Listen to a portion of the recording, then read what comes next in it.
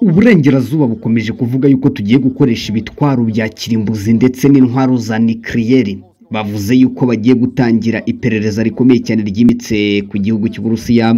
Gusa ntabwo twavuga ko tutazazikoresha kuko ihimarasi ni ibitwaro tubona bikomeye kandi birimo biragenda biraswa cyane ku gihugu cyacu. Ibi rero natwe bizadutera umujinya ndetse tuzafata umwanzuro ukomeye cyane kuko tubona yuko bizaba bikenewe. Aya magambo reka nyabwire perezida Volodymyr Zelensky ndetse abashe kuba yagira icyo atekereza kuko tubona yuko iburengerazuba nubwo burimo buragenda bugaragaza yuko twaba turimo turategura kuba dufite ibitwaro bidasanzwe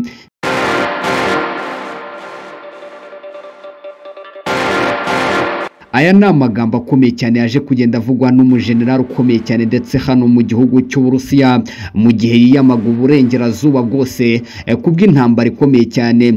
Ndetse nk'uko byaje kugenda bivugwa n'uburengerazuba yuko bugiye kujya mu iperereza ridasanzwe ryo kuba ryareba. Ndetse ku mugabo bita perezida Vladimir Putin bikekwa ko ashobora kuba agiye kujyana ku rugamba intwaro za kirimbuzi. Twibutse ko Ukraine ari igihugu cyaje kugenda gihabwa intwaro zikomeye cyane ndetse zikaba ari intwaro zaje kugenda zifashishwa. N'ibisasu bya himarasi birasa mu ntera ndende. Ibi bisasu bikaba byarazonze perezida Vladimir Putin akabona yuko kuba hari icyo yakora ashobora gufata umwanzuro ukomeye cyane ndetse ukaba ari umwanzuro udasanzwe. Ni mu gihe intambara yo mu gihugu cya Ukraine yakomeje gufata indi ntera. N'impanguhe nk'uko bikomeje kugenda bigaragara. Leta zunze ubumwe za amerika zakomeje kwibaza uburyo ki uru rugamba ruzahoshwamo nk'uko bikomeje kugenda bigaragara nk'uko ibingibi byaje kugenda bigaragara neza ko ibi bihugu biri mu burengerazuba bikomeje gukora iperereza kuri perezida Vladimir Putin wavuze yuko uku kwezi kwa cyenda ashobora kuba yasoza intambara. Ni mu gihe uyu mugabo atari yagakoze ku bitwaro bidasanzwe ndetse ibitwaro biri hejuru cyangwa se biremereye. Ibingibi bikaba byaraje kugenda bigaragaza neza ko perezida Vladimir Putin agomba gushaka icyo yakora byihuse cyane mu gihe uburengerazuba bwari bwohereje igihugu cya Ukraine intwaro zidasanzwe. Ni ibitwaro bya Himalayas ndetse byari bije kwifashishwa ku rugamba kugira ngo babashe kuba barwanya Perezida Vladimir Putin. Gusa uyu mugabo yakomeje kugenda bananira mu buryo budasanzwe. Ibi ngibi biri mu byadindije ino ntambara kugira ngo ibashe kuba yahoshwa cyangwa se yarangira kuko igihugu cya Ukraine cyabashe kubona intwaro zikomeye cyane zirasa ku birindiro by'igihugu cya Ukraine. Ibi bikaba byari binateje ikibazo mu ntangiriro z'uku kwezi ndetse kwa karindwi. Nk'uko byaje kugenda bigaragara neza ko ingabo z'igihugu cya Ukraine zagabye ibitero bidasanzwe ndetse bikaba ari ibitero byabereye ku cyambu cya Odessa aho perezida Vladimir Putin yokejwe umuriro n'abasirikare b'igihugu cya Ukraine gusa kubera ubwenge bwinshi uno mugabo ashyira mu ntambara akaba yarateretsemo ubwenge budasanzwe ndetse akaba yarakoresheje magie geste zigiye zitandukanye agahita ahindura urugamba ku buryo bwihuse ibisasu bitatu gusa guhita bihindura umutwe wa perezida Volodymyr Zelensky bikaba byarerekeye mu murwa mukuru Kiev Zelensky ni kuguhita atekereza yihuse ndetse ingabo zari zamanutse mu majyepfo ashyira uburasirazuba bw'igihugu cya Ukraine ahangaha zari zagiye kuba zakigara agace ka Crimea zagarutse inkundura kugira ngo zibashe kurinda umukuru w'igihugu.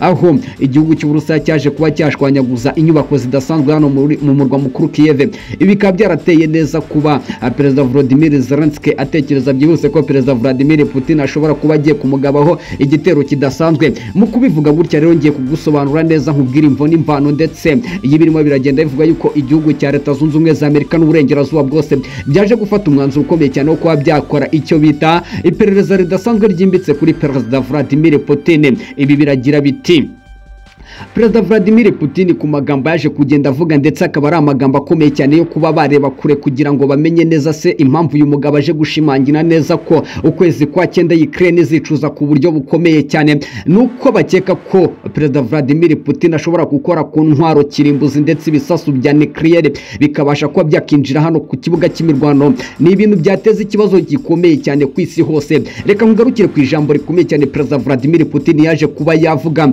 Uretse ko uyu mugabo avuga amagambo akomeye kandi akagenda yashyira mu bikorwa gake gake. Yavuze yuko Ukraine ikosa rimwe ryonyine izakora ari ikosa ryo kuba yarasa ku gihugu cy'uburusiya gusa. Aho navuga yuko bishatse byahindura isura ndetse akerekeza mu gihugu cya Ukraine n'intwaro za nucleaire zo kubasha kuba yakirwanaho. Mu gihe abona ko uburengerazuba bufite umwanya ukomeye cyane wo kuba bwamurwanya ku buryo budasanzwe.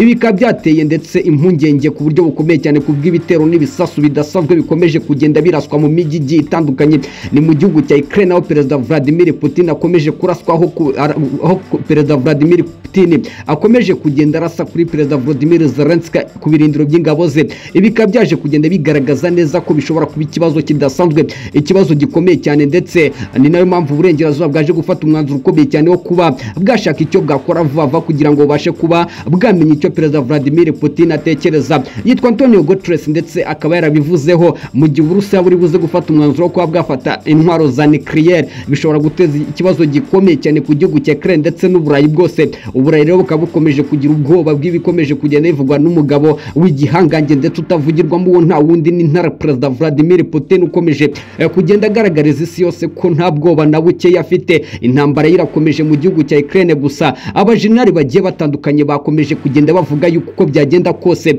Igihugu cya Ukraine gikoresha gikomeza gukoresha intwaro za HIMARS ndetse bikaba ari ibitwaro bidasanzwe ndetse bya Himo Blitz Artillery Rockets biturutse rero muri leta zunze ubumwe za Amerika bizateza ikibazo gikomeye cyane ndetse nk'uko generali umwe bitse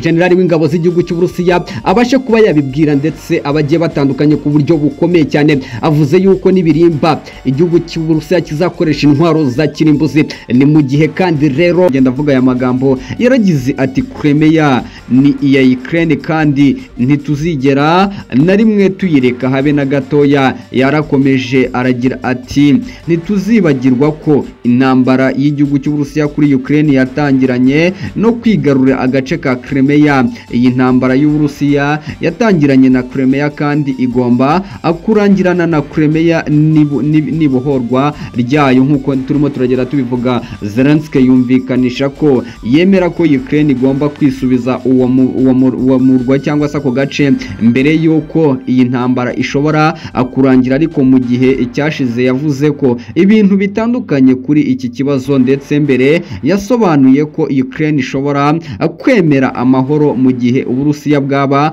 busubiye rero mu birindiro bwari burimo mbere ya tariki makumyabiri n'enye y'ukwezi z'ukwezi kwa kabiri uyu mwaka w'ibihumbi bibiri na makumyabiri na kabiri. Ibyo yabivuze ko kwisubiza Crimea bifatwa nk'isabwa ndetse nk'uko BBC dukesha iyi nkuru ikomeje kugenda ibitangaza. Mu mateka rero ya Crimea ni igice cya Ukraine ariko uburusiya bwayometseho mu mwaka w'ibihumbi bibiri na cumi na kane.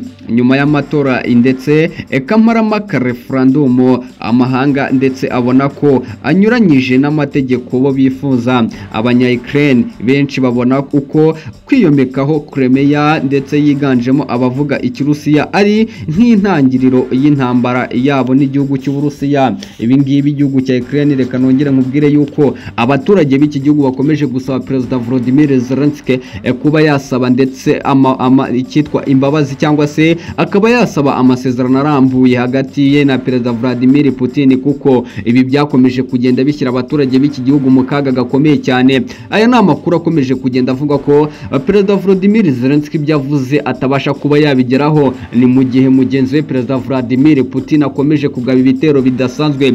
Bikaba ari ibitero karundura karabuta karutura. Ibi bikaba bikomeje kugenda bigaragaza neza ko uyu mugabo nta mikino afite ku rugamba kandi agomba gukora buri kimwe cyose ibintu byose bikagenda bigenda neza. Uyu ni perezida Vladimir Putin utavugirwamo habe na gatoya. Umugabo ufite imbaraga ndetse n'intwaro zidasanzwe ku rugamba ukomeje kugenda agaragaza imbaraga zikomeye cyane. Perezida Vladimir Putin perezida w'igihugu cy'uburusiya yerekanye